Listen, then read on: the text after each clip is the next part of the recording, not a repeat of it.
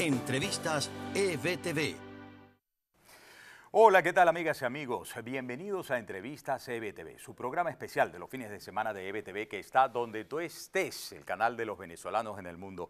Me dijeron a la mitad de la semana, Miguel Ángel, te toca la edición próxima de Entrevistas EBTV. Búscate un personajazo. Caramba, hay uno que está regularmente revisando todo lo que tiene que ver con los liderazgos en Venezuela, en Latinoamérica.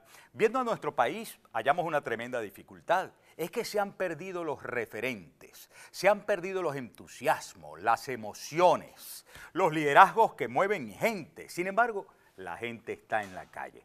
Y cuando la gente está en la calle, de entre esa gente siempre surgen personas muy interesantes que reflejan el momento de un país que lucha por su libertad.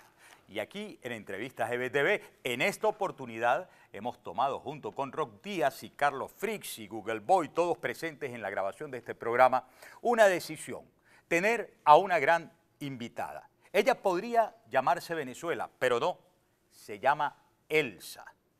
Y también me dijo Simón, ella podría llamarse candidata, y no es candidata, ella es una decente docente.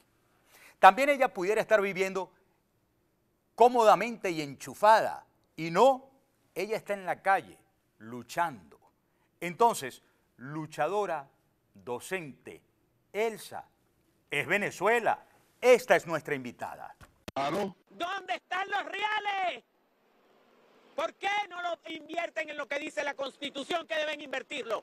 ¿Por qué no está resuelto el problema de salud?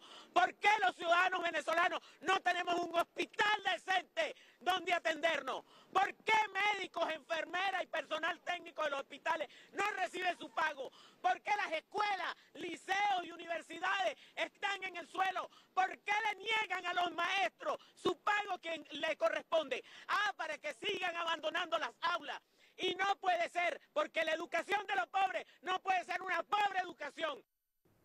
Obviamente, en realidad no estaba hablando con Nicolás Maduro. Fue un montaje de esos que hacen circular y viralizan en redes sociales, pero sí que fue muy auténtico su testimonio y retaíla de preguntas, a las cuales vamos a caerle de inmediato porque ella es nuestra invitada. Se llama Elsa Castillo. Mi querida profesora Elsa Castillo, pues eh, bienvenida a Entrevistas EBTV. ¿Cómo me le va? Muchas gracias por la entrevista, Miguel Ángel, por la oportunidad y un placer, un honor estar con, con ustedes. Bueno, ¿Y cómo me va? Bueno, me va bien entre comillas. Bueno, en el entre comillas usted hizo un pocotón de preguntas al régimen venezolano que la verdad es que solamente han sido respondidas con un tremendo escándalo durante los últimos días, ¿no? El escándalo este en el que unos grupos se acusan de corruptos con otros grupos y salta a la vista que de nuestra principal eh, arteria que nutría las finanzas y, el mantenimiento del país por muchas décadas, se roban decenas de miles de millones de dólares unos a otros. Usted ha visto el espectáculo. ¿Y qué siente usted cuando está en la calle luchando, cuando eh, oye todas estas acusaciones? Me parece que esa es una forma de decirle a los trabajadores que el dinero se lo llevó a alguien y que probablemente esos alguien estén fuera del país. Pero yo le pregunto a los que están aquí dentro, ¿qué han hecho? ¿Qué han hecho para resolver el problema? ¿Qué han hecho para resolver el problema ¿Qué hicieron en la oportunidad en que presuntamente esas personas hicieron eh, esas situaciones impropias, por no calificarlas de delictivas? Profesora, ¿a quién le está haciendo usted esa pregunta en específico? Porque yo me imagino que esa pregunta de qué han hecho, qué han hecho cuando se robaban la plata, me imagino yo que no se lo está haciendo a sus compañeros que están en la calle protestando, porque le robaron el salario, porque le robaron la plata. ¿A quién, a, quién le está haciendo esas preguntas? A quienes administran. Bueno, a Nicolás Maduro le está preguntando eso usted. Es que yo no quiero mencionarlo. ¿Por qué? ¿A ti te han bajado de un carro a punta de pistola? Sí, señora, sí, sí. Ah, entonces sabes por qué. Muy bien. Está bien, ya me respondió por qué. ¿Y por qué cree usted que niegan esas eh, respuestas? A, por ejemplo, esta retaíla de apenas una de las declaraciones que le tomaron a usted en la calle, ¿no? ¿Por qué no invierten el dinero donde dice la Constitución que lo inviertan? ¿Por qué este, mm, eh, se han robado la, plata de los hospitales y los hospitales y las escuelas y las universidades están en el piso? ¿Por qué? Porque ¿qué tanto cuesta responder a esto? Es que responder a eso compromete. Si dicen que no tienen dinero, van a tener que explicar por qué.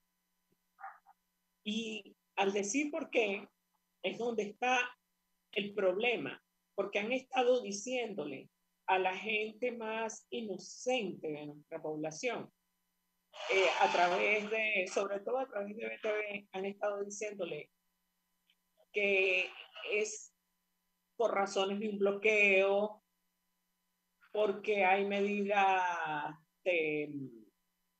contra, contra algunas personas pero resulta que eso no es así. Son demasiados años de deterioro y demasiados años en el que no han explicado al pueblo venezolano qué hacen con el erario público. ¿Usted tiene cuántos cada años? Vez que van, Profesora, cada vez, ¿usted tiene cuántos años peleando por unas respuestas?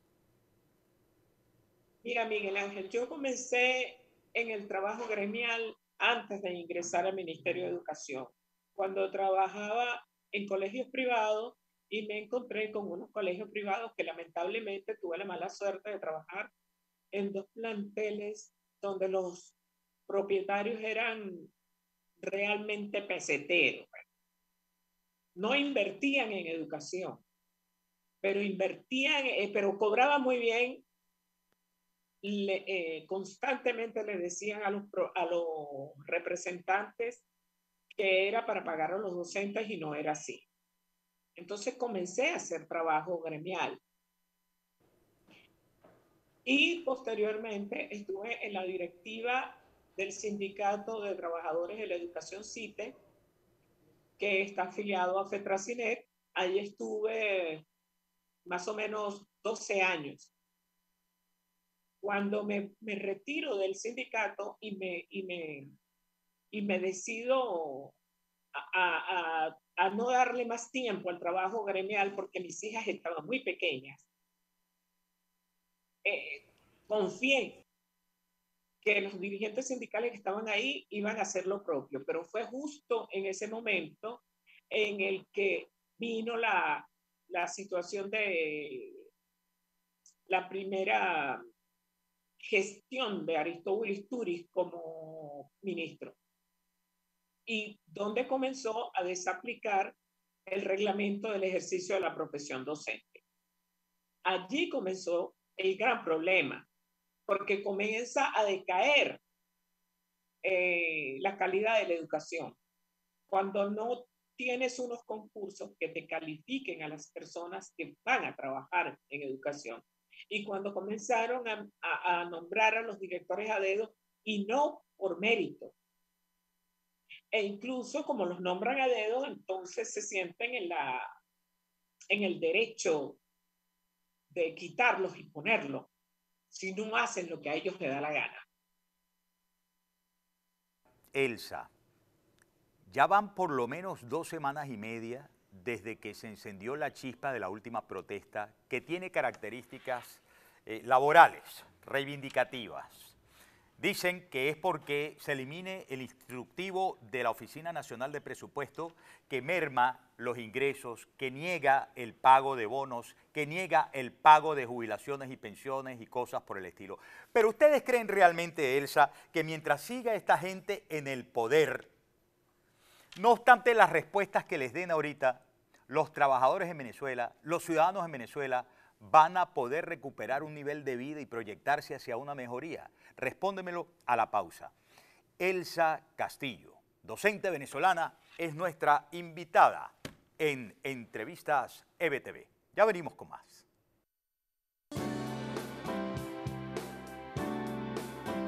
Entrevistas EBTV